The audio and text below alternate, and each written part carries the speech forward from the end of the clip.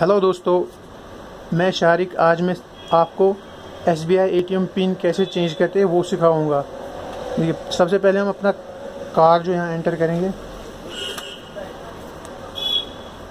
Then select banking then select language and कोई भी दो नंबर हम एंटर करेंगे यहाँ पे।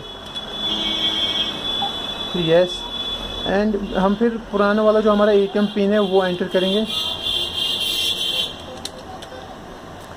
देखिए, बहुत सारे ऑप्शन आ रहे हैं यहाँ पे। हमें पिन चेंज पे क्लिक करना है।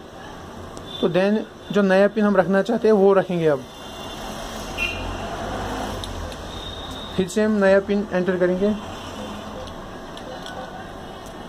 तो देखिए दोस्तों, यहाँ से एक स्लिप निकलेगी तो हमारा पिन चेंज हो गया।